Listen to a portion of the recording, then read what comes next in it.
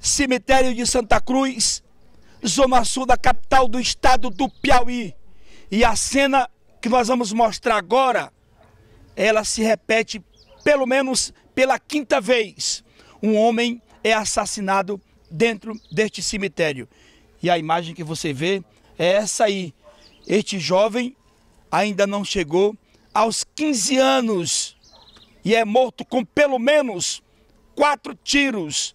A nossa equipe conseguiu identificar ao lado dos policiais pelo menos três: um no maxilar, um outro na coxa e o outro exatamente na testa. O sargento Célio, primeiro sargento da Polícia Militar do Estado do Piauí, 20 anos de serviço, foi o primeiro a chegar aqui, a autoridade policial. Sargento, é realmente uma cena triste.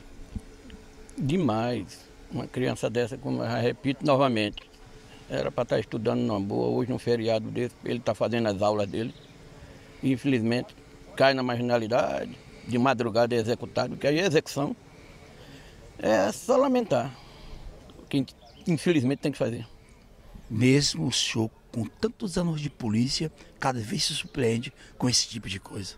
É demais, principalmente aí foi. Ele correu, atirado nas pernas, depois executaram com um tiro na testa. Execução.